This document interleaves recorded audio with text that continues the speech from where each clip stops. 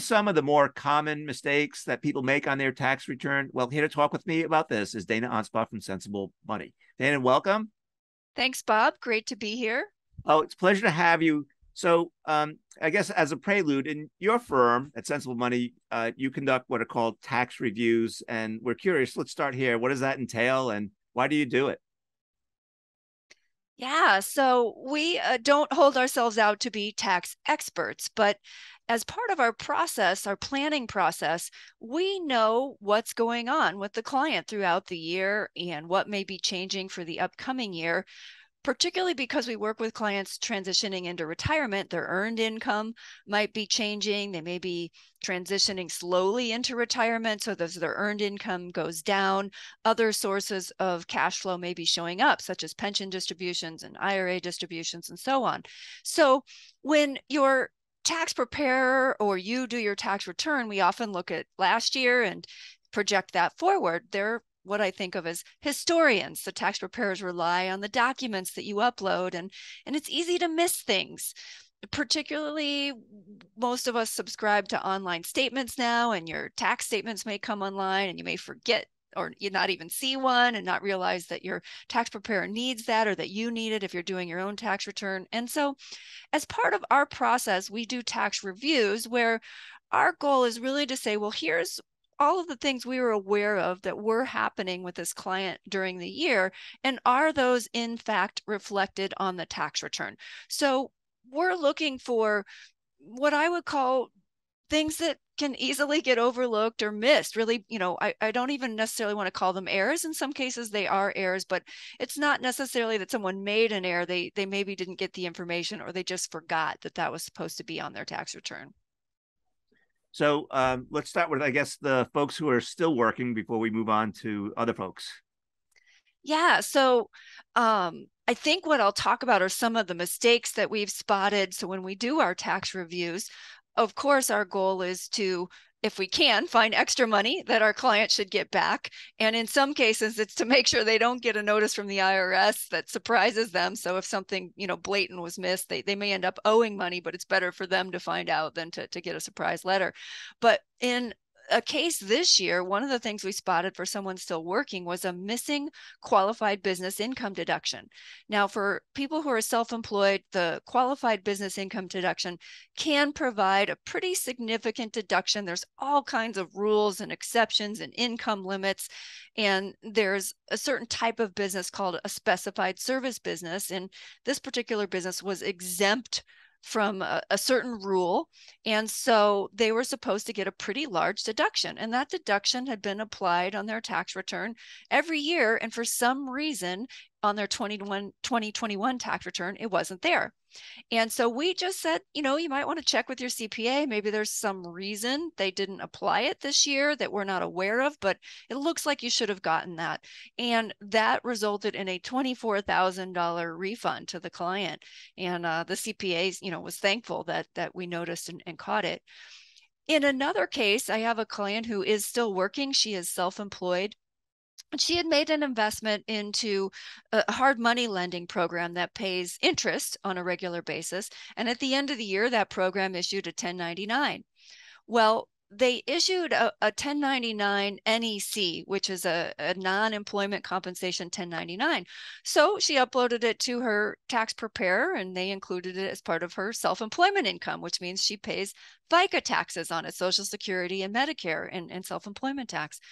Well, it should have been a 1099 INT, a 1099 that reflects interest income. You don't pay self employment taxes on interest income.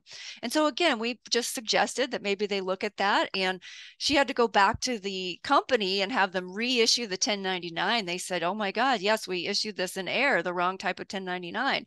And so, again, that resulted in a, in a refund for her. So, when we see these refund scenarios, it is uh, a lot of fun. And our clients are very thankful and grateful that we're looking out for for them. Yeah, I can imagine. So, uh, one of my favorite topics is uh, all the mistakes and errors that can occur with uh, retirement accounts. You've got a laundry list there. Yeah, we do have a laundry list there. Um, one of the biggest ones we saw was it was the first year a client had retired and taken IRA withdrawals, and that issues a 1099R. So when you take a pension or a, a withdrawal from an IRA, you get a different type of 1099. And they just forgot to report it. And so we knew there was supposed to be, you know, I think it was somewhere between fifty and a hundred thousand dollars of taxable income from IRAs on their tax return. Well, that difference jumps right out at you when we're reviewing the tax return. Here's what we expect to see, and wow, there's a hundred thousand dollars less of income. That's that's strange. And so uh, that was a case where they did end up owing more, but it was a good thing. That would have been a pretty, you know, not not nice notice to get from from the IRS. Um, other things we've seen on a smaller scale, some of our clients do qualified charitable distributions and oftentimes the 1099 that's issued will just say let's say you took a gross $20,000 out of your IRA but 2000 of it was directed to charity. Well, then the, the net taxable distribution reported should only be 18,000. But if you don't think of spelling that out for your tax preparer or you're doing your own and you forget, the gross $20,000 gets reported. And so people are missing that deduction. Um, one of the things we see regularly are people who made non deductible IRA contributions along the way while they were working. And now they go and they take IRA distributions. Well, a portion of each distribution should be a return of basis and not taxable but they will forget to file. There's a form 8606 that you should file that keeps track of your basis in those non deductible IRAs. And they won't have that form or forgot to track it along the way. Well, essentially, they're getting double taxed on, on that piece. And, and so we will come across that fairly often. And one of our specialists, our tax specialists this year, also brought up the issue. We're seeing more and more people who have inherited IRAs. Well, you may have inherited an IRA and that person you inherited it from may have made non-deductible contributions. So a portion of each of your withdrawals from that inherited IRA may be a return of basis. And we're not seeing that people are, are tracking that. In that case, you know, let's say I'm working and I have non-deductible IRA contributions and and I retire and I'm taking withdrawals from my own IRA and I also inherited an IRA from a parent who had non-deductible contributions. I would actually have two form 8606s that I would I would need to be filing each year. And so yeah, it, people just don't know or they forget or they forget to tell their CPA or, or they don't look out for it. Um, there's a few others. If you, I'll just keep going. Yeah, please, yeah, these are great. we uh, we found one. It was a, a Roth conversion, and the Roth conversion was simply not reported on the tax return. We had also uh, the person had made an estimated tax payment to cover the taxes on that Roth conversion, so neither the tax payment nor the Roth conversion uh, was showing up on the tax return. And then one of the strangest ones we encountered was someone who had pensions. Uh, they had three different pensions each year. And then one year, just one of the pensions was missing from the tax return.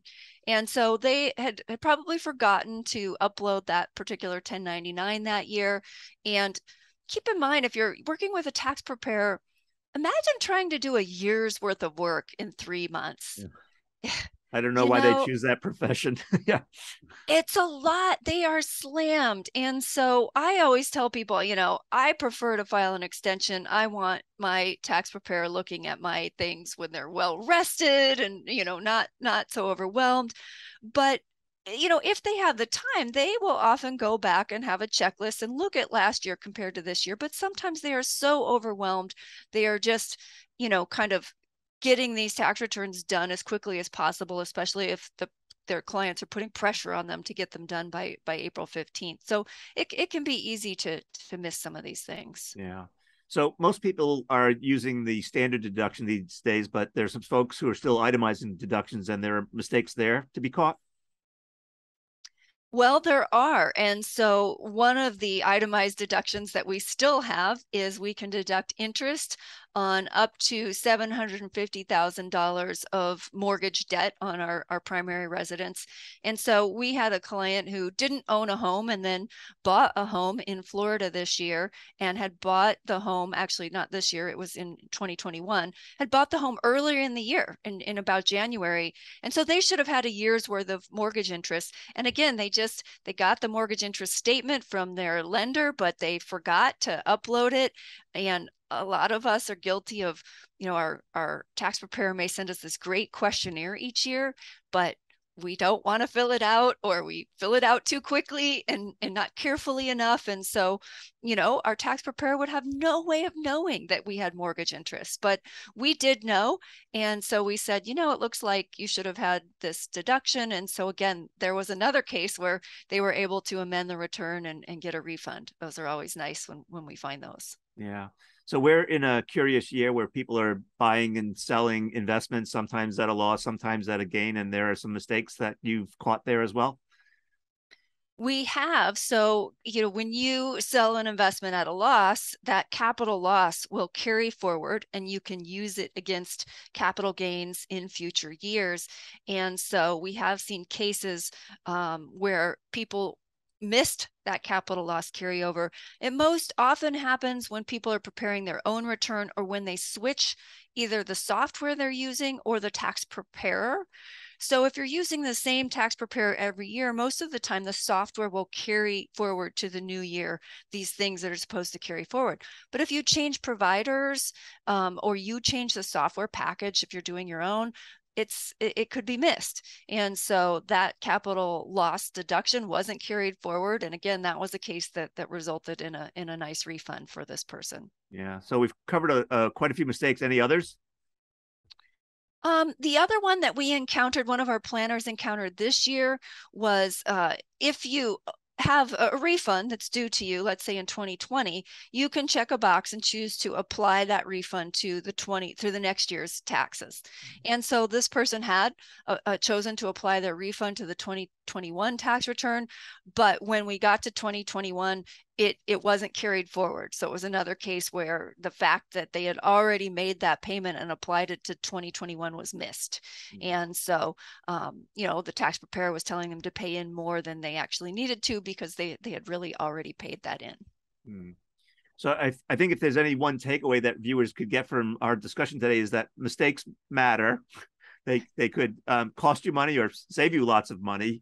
Uh, any advice around what people ought to be doing, perhaps, with regard to avoiding future mistakes? You know, I I think not being in a rush, um, having a checklist.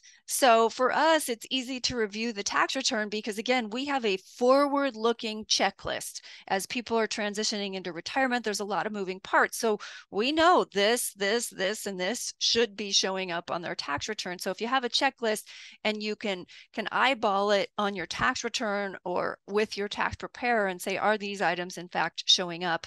Um, and another thing I think you can do is be more willing to file an extension. So that can give your tax preparer and you time to make sure you have all the appropriate documents. You can also take the time to slow down and fill out that uh, questionnaire that most tax preparers provide you. I know most of the answers are no, no, no, but if you slow down and read each question, there will be those times where you go oh yeah i did do that this year and and so that will lead your tax preparer to know that that something should be on your tax return yeah.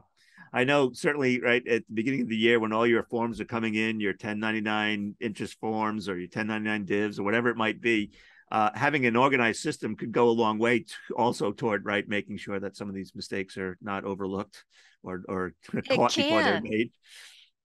Yeah, and we've worked with some, you know, great prepares when when people are moving accounts from one uh, custodian to another who might reach out and say hey we didn't see a 1099 from you know xyz institution this year. Do you still have that account? Mm-hmm. and so we know they are using that kind of system um, that you're talking about. But even if it's just a short list that you keep in a word document on a yellow pad uh, you know in excel however you're you're you're you like to organize it, eh, that can help you just say okay did i get this this this this this to my tax preparer yeah Well, Dana, I want to thank you, for, as always, for sharing your knowledge and wisdom. I'm, I'm sure our viewers will uh, greatly benefit from uh, listening to this one. And hopefully not overpay their taxes.